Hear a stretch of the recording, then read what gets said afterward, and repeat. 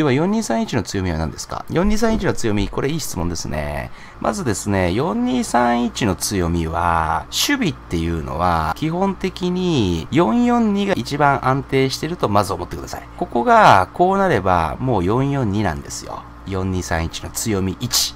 442をすぐ作れる。で、4231の強み2つ目。と4231って誰かが特徴的な動きするとかじゃなくて、あなたボランチね、あなたサイドハーフね、で、サイドバックでしょじゃあオーバーラップしてくださいね。っていう風に、みんながその動き知ってる。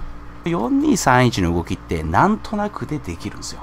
だから、誰をどこに置きますかっていう組み合わせのゲームでしかないんですよ。監督がやることとしては。で、誰でもできるし、なんとなくみんな動き分かってるし、っていうことだったら、たまに集まってやりましょうねの代表の試合とかは4231がやっぱいいですよねって話になる。だけど、今の時代は通信技術も発達してますし、いろいろ動画とかもあるんで、もっと選手に対して分析ビデオとか送るとか、質の高い準備された練習っていうのができると思うんですよ。こういう練習を帰国してきたらするんでっていうのをやって、こういう動きが必要でっていう動画を作っといて、だからそこを習得させるのは別に難しいことじゃない。実際に昔はね、ほとんどのクラブが4231でしたよ。まあ15年ぐらい前。だけど、代表にしても352だったりとか、433だったりとか、そういうフォーメーション使ってくるわけじゃないですか。他の国はやってるんですよ。日本だけ未だに4231しかできない。まあ、4231の強み、まあ、トップがずれて、セカンドトップが上がっていけばいいんでしょっていう、こう、シンプルな崩ししかないんですよ。